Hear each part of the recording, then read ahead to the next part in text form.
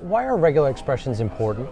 Regular expressions can greatly simplify uh, lots of common uh, code sequences. Like in, in, many cases, you can condense like a hundred lines of code into a single line regular expressions. Regular expressions is just a language that describes a set of strings. So every time you need to match uh, to, to, test if a string matches a certain pattern, like does it, for example, is something an email address? Uh, or if you want to extract part of a string, like extracting, for example, all the words in a text, mm-hmm. uh, or counting them um, or validating data. Uh, regular expressions can greatly help in all of these cases.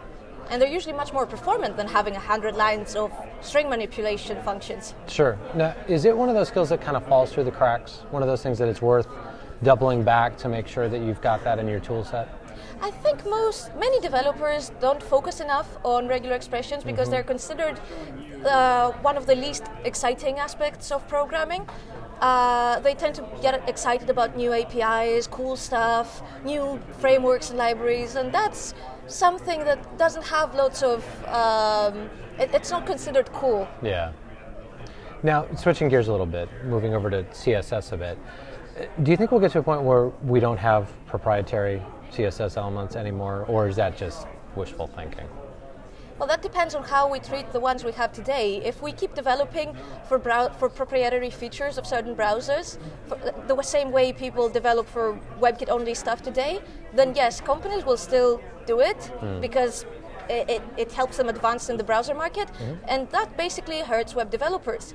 Remember what happened when we got a very cool browser with many cool, shiny uh, proprietary features, and mm-hmm. web developers got really excited about that browser and its proprietary features. They started using them, and then we got locked in that browser, and we got a decade of IE6. Right. IE6 was a great browser when it got when it was released. Ten years later, not so much. Yes. Right. Right. Um, so, last question for you: What is your process for experimenting with a new feature? What's the criteria that it has to meet for you? I guess the criteria is that uh, I usually want the feature to have at least one uh, implementation. It's really hard to experiment with something that's just a spec hmm. and doesn't have any implementations. And quite often there are specs that never get implemented. There's no interest from browsers, so they, they never implement them even though they exist for years. For example, there used to be a spec that defined how we can have multiple pseudo elements, multiple before pseudo elements or after pseudo elements, or an outside pseudo element, and mul- or, or actually multiple outside pseudo elements. It was really exciting. Browsers didn't care; they didn't implement it. We had we had to actually drop the, mm. the hmm. features in that spec because when there's no interest, uh, the specs the specs changes. Sure.